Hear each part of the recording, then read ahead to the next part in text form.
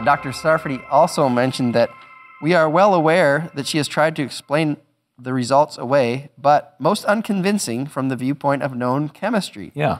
See dinosaur soft tissue. In seeming desperation, evolutionists turn to iron to preserve the ideas of millions of years.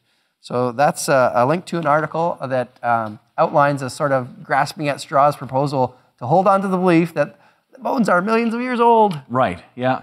Now, iron in blood cells can act as a preservative. Uh, it wouldn't be as good as formaldehyde, No. but for the true believer in millions of years, that's the answer. Iron saves the day. We can keep believing that the bones are millions of years old, even though they contained unfossilized soft tissue, because iron has preserved them. Right.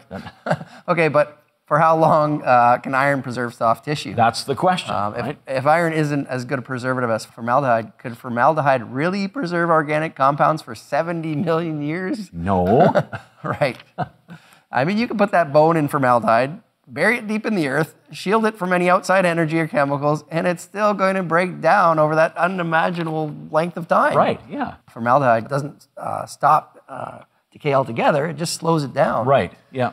Now, these bones uh, were found in Montana, and they weren't protected the way I just described. No, no, they weren't. Uh, about the only thing that will stop decay is freezing them to absolute zero, but minus 273 degrees Celsius. Right, and it doesn't get that cold in Montana. no, it doesn't.